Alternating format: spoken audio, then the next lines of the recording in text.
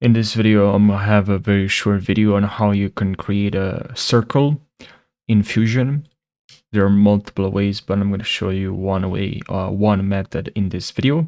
Make sure you watch this video till the very end and subscribe for more tutorials. So what you have to do, let's just grab um, magic, not magic, um, what it's called, um, mask paint and then we add mask paint and what you have to do now is to go here to the um, polyline stroke. Now we have to right click here and then um, here we have to go to polyline stroke polyline and here we have create click on create and eclipse. Now here we can um, add our circle as you can see. Um, and that's pretty much how you create a circle.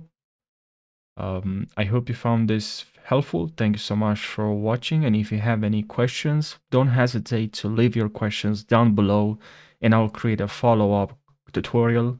So thank you so much thanks so much for watching and take care